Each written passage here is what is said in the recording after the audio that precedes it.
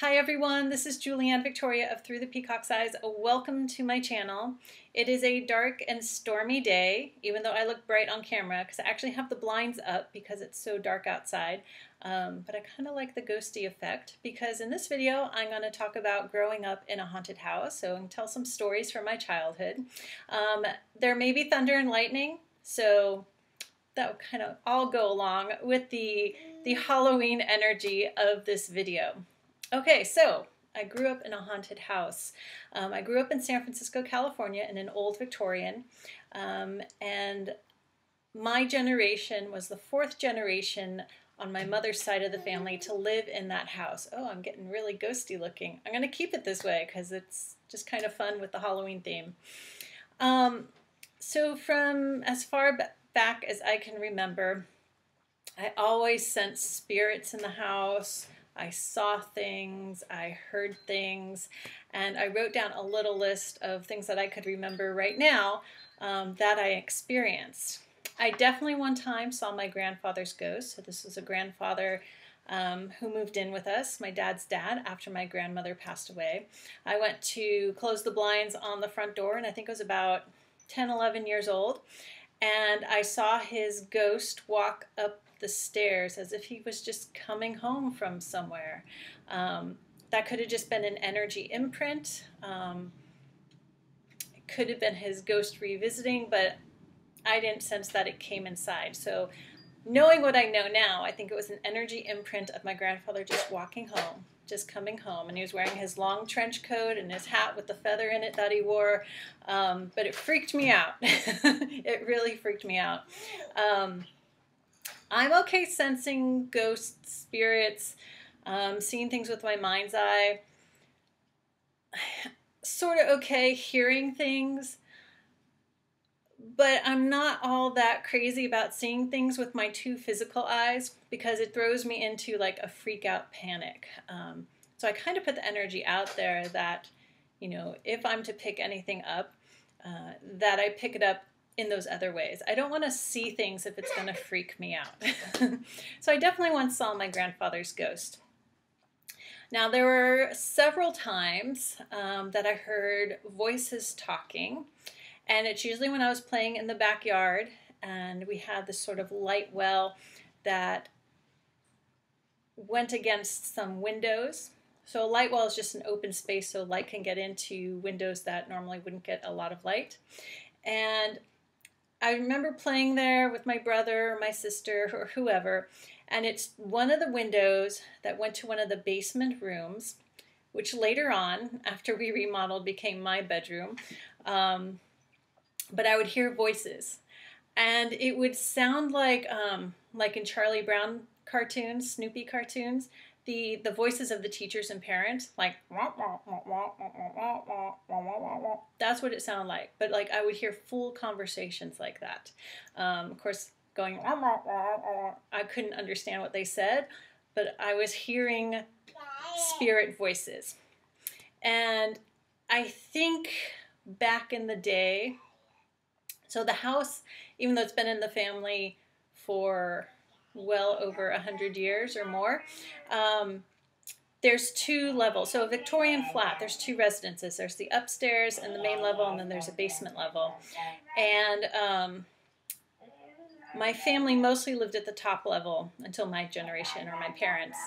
Um, and the lower levels were rented out. So I don't know who those voices were. I think it was just people who had rented, lived there. It could have been the architect who built the house because I think he actually lived there a few years before my great aunt and great great grand aunt and uncle moved in. Um, but I don't know who the voices were. But several times I would hear those voices. However, when the basement had been remodeled and then I had my own room down there, um, I didn't hear those voices then. But I think because I knew about them and I sort of blocked it, sort of like the way like seeing ghosts kind of freaks me out. Um, at that time, I, I would have been, I don't, I don't want to hear this. I, I would have blocked it. Now that ghosty sound in the background is my baby. She's playing with her toys. okay. Um, other things that I experienced. Oh, there was a corner in the house. So Victorians have these long, long hallways, and the hallway would go straight, and then there'd be a little nook, and then it would go straight again. And in that nook was the corner. So, you know, if we were bad kids, we had to go stand in the corner. But that corner often had a shadow figure. I don't know if it was a shadow spirit or just I would pick up a shadowy energy of a ghost there. Now, later on, um, when I lived in the house again, uh, 2013 to 2015 or so, um, one time I was walking out of the house with the dogs to walk them in the morning, and as I passed by that corner, I heard a voice say, Hello there. And that freaked me out. I just thought, love and light, love and light. I could feel it following us to the door. Got to the door, lock. It didn't come through the door and follow us out. I was just like, ugh. Okay, so then I just had to ground myself before I got back home so the energy wouldn't disturb me. Um, but there's definitely that corner. Now, across from that corner, when I was a child, there was a linen closet with a like built-in drawers and stuff and a window that went to this larger light well that was between the two houses because Victorians are very close together. There are there's a little space and those are the light wells so light can get into some of the windows and light the house even though they are kind of dark.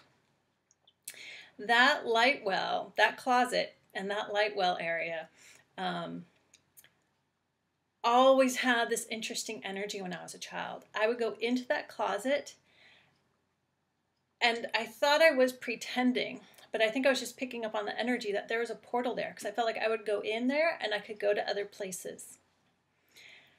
And over the years, and as an adult, and then when I, you know, lived there for a few years, couple years.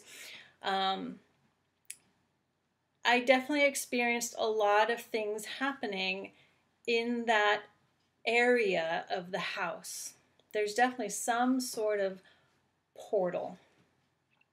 And I can make another video on stories about that um, as an adult. Um, but this is really, I grew up in a haunted house. I want to talk about childhood stuff. Um, what else do I have here? Oh, things like doors would open by themselves. Doors that had like the push push lock in the little in the handle, they would pop open on their own and open up. Phones would get unhooked. Um, electronics in that house are a pain in the butt, and I I call it the electronics gremlins in the house. Um, you can call them maybe brownies, little trickster spirits, but any electronics there, there's constant problems.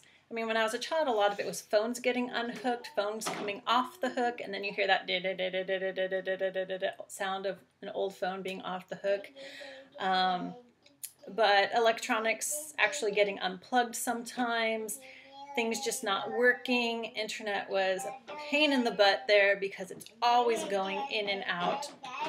So just a lot of energy disrupting the electronics. And when I was a little girl, like sometimes that energy would be really intense, and maybe I was just picking up spirit energy, but I called it hearing electricity. So I used to, I mean, I still do, but most places I don't pick up on that unless I'm in a really haunted place or a place with a lot of spirit energy going on. Um, but yeah, I would I would say, ooh, I hear the electricity. And often, interestingly, it would be around the section of the house where that light well, that portal, that portal is. Um, what else do I have here? Oh, bookcases would fall over. Usually around my mom, and that may had may have had to do with some of her energy. But um, yeah, heavy bookcases full of books no earthquake. I know it's earthquake zone. There would be no earthquake, but cases would just fall over. And I think they would happen when there was a lot of disruptive energy in the house, a lot of anger, a lot of frustration, because that attracts energies, entities that feed off of that. And with what I call the portal in the house, you know, energies and entities come and can come and go very easily. It's not a house that you could just try to clear the energy, that you can work with a spirit that's hasn't passed on, that's struggling to move on. It's like it's an active zone, a very active zone. Um, what else did I put down here? Oh, there was one time, uh, actually, I think it was like three times. We'll say two to four because I'm not positive. But there were a few times, we'll say, when my parents actually had psychic and paranormal investigators come to the house to figure out what was going on. And from what I know, because I wasn't in the room with them, but I was actually eavesdropping um, as best I could through the heating vent. Um, that they had some ideas of stuff that was going on, but they didn't have a definite answer. And I think it's because there's just so much going on in that house. Um, but everyone was aware of it. And yeah, I think my parents tried to find some sort of solution. I don't know if anyone cleared the house, though there was once or twice when my dad had a priest come to bless the house. Um, I don't know if it was technically sort of like exorcise the house, um, but it was to bless the house to keep spirits away. But again, it's a very active space. Again, there's a portal, or you call it a vortex, where spirits can come and go. Um, I think that has to do with the location where the house is built. And there's a lot of energy there. So if you look up the street, you see Twin Peaks right there. So those of you're familiar with San Francisco, Twin Peaks are these twin mountains. They're like five, six hundred feet, so they're not huge, but they're they're the, it's a landmark in San Francisco, and there's a big tower on it, and, and so on. Um, but there's a lot of energy up there, and I believe the Native Americans, I believe it was the Ohlone Indians or Ohlone Native, Native Americans, it's O H L O N E, Ohlone. Um, they would do rituals up there or whatever their sacred rituals were. And there have been times when I was living there as an adult, and I used to get up at like five to walk the dogs, that I noticed on some full moons, maybe even new moons, that I would hear what sounded like Native American chanting coming from the hills. And the streets in San Francisco with the very tall Victorians are sort of like sound tunnels. And so sound can carry through. And so I don't know if those were actual people up there chanting, because I would see some lights up there too, or if it was spirits. I'm really not sure. And I thought about going up there one morning on a full moon when I heard it to explore, um, but it would be quite a hike with the dogs. So um, I never did it. I thought I would just let it be. So, those are some of my stories from my childhood um, about the haunted house. Anything else I want to say? Doors opening, phones unhooking, electronic gremlins, bookcases falling. Oh, faces on the ceiling.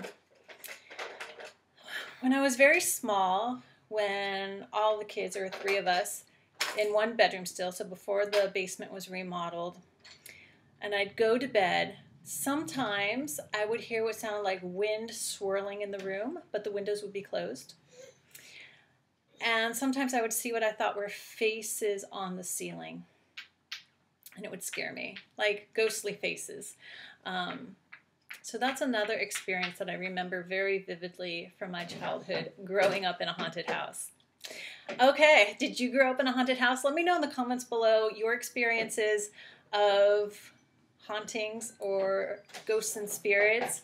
Um, and if you'd like to hear more about what I experienced and I guess discovered or feel confidently I have discovered about um, the portal in the house. So it's definitely connected to the land though. It's not like if you tore down the house, I think it would still be there. All right, I hope you enjoyed this video. Uh, no thunder and lightning, so I was kind of hoping for it for the video. It would have been really good. Um, thank you for stopping by, liking, sharing, and subscribing, and I'll see you back here soon.